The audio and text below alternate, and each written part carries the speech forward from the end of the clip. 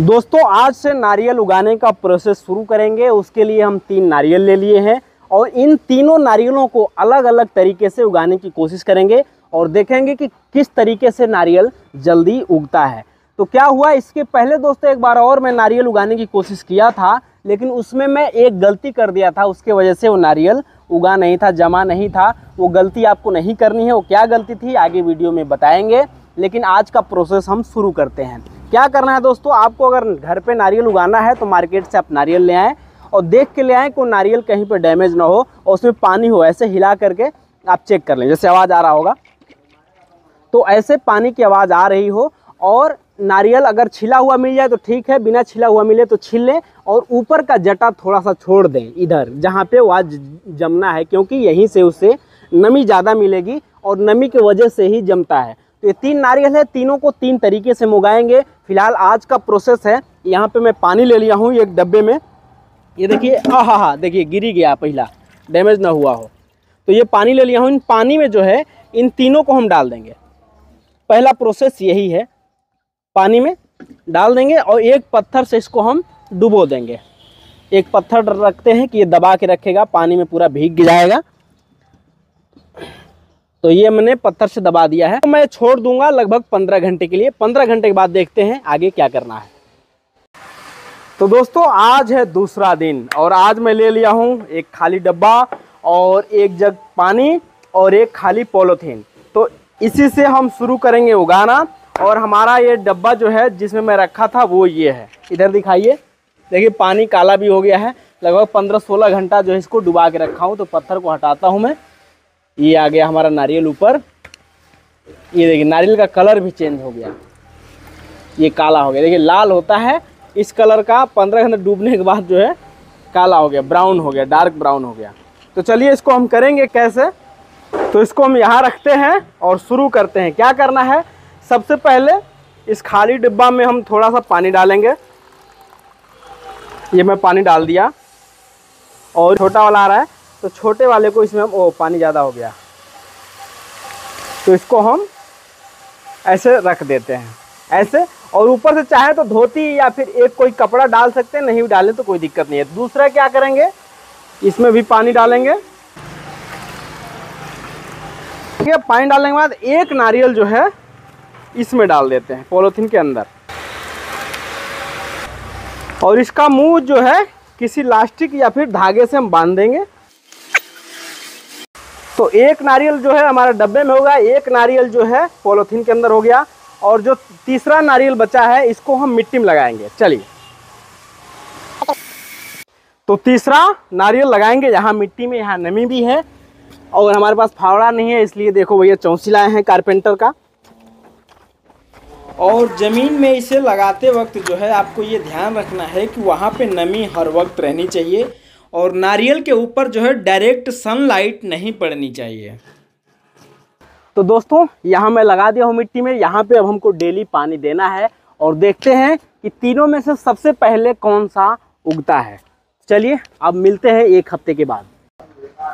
तो आज दोस्तों, मैं डेढ़ पौने दो महीने के बाद ये वीडियो फिर से शुरू कर रहा हूँ। इसमें देखता हूँ क्या है, ये तो जो है कंपनी मैं बाहर गया था एक महीने के लिए।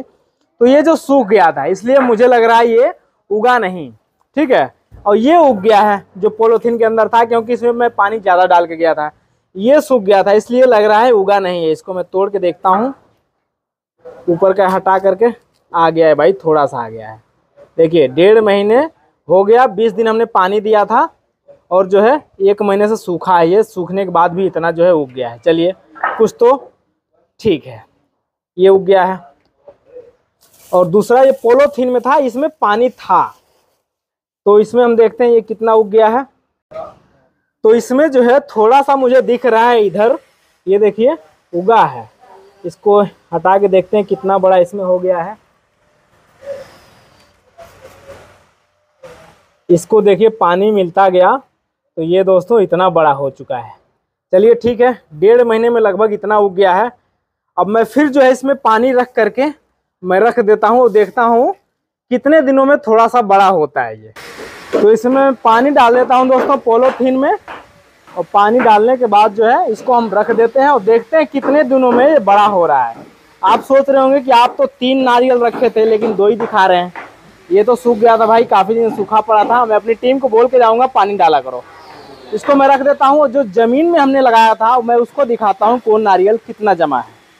तो दोस्तों, ये वीडियो शूट हो रहा है साढ़े तीन महीने के बाद। और आगे का वीडियो मैं दिखाऊँ, इससे पहले मैं आपको बताना चाहता हूँ कि ये वीडियो मैं साढ़े तीन महीने से शूट कर रहा हूँ। और उसी साढ़े तीन महीने के बीच में जो है, चैनल के लिए मैं कई वीडियो शूट किया, अपलोड किया और स्टोरेज फुल हो जाने के बाद जो है, वीडियो को डिलीट भी किया। तो उसी वीडियो को डिलीट करने के चक्कर में जो है, इस नारियल का भी वीडियो मैं गलती से डिलीट कर दिया। तो जो है, बीच का जो है पार्ट जो था, वो गलती से मैंने डिलीट कर दिया इसके लिए सॉरी लेकिन प्रोसेस क्या क्या हुआ था, मैं बता सकता हूँ। पहले मैं इसको निकालता हूँ। आ जाओ भाई। ये देखिए, इतना बड़ा हो गया, कितना शानदार जो है, उग रहा है। एक जड़ जो है, इतना बड़ा हो गया है। अब इसे मिट्टी की ज़रूरत है और एक जड़ ये है। तो ये तीन महीने में हुआ क्या था, मैं बताता हूँ। कि जो है तीन में लगाया था, एक ये पोलोथीन में था, एक डिब्बा में था, एक मिट्टी में मैं लगाया था।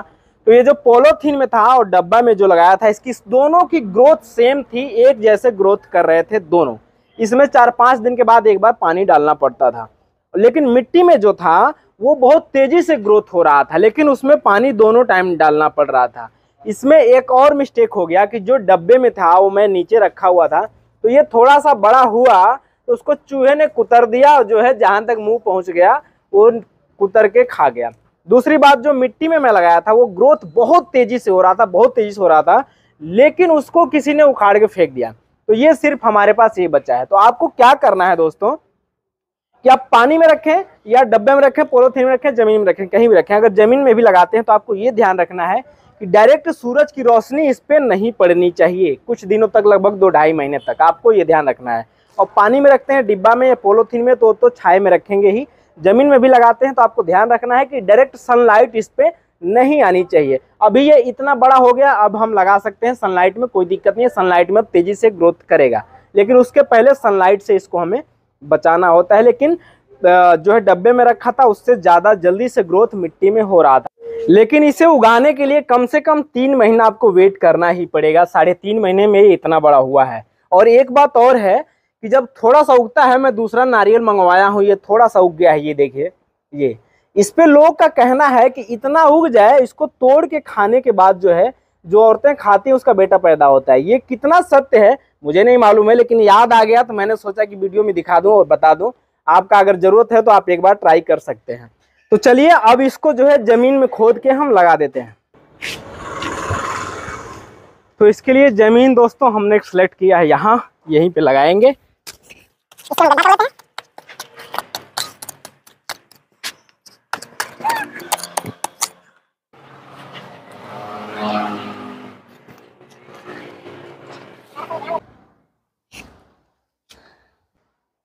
तो ये दोस्तों हो गया तैयार। नारियल उगाते वक्त आप ये ध्यान रखिएगा पेशेंस रहना चाहिए। कम से कम तीन चार महीने वेट करना पड़ेगा।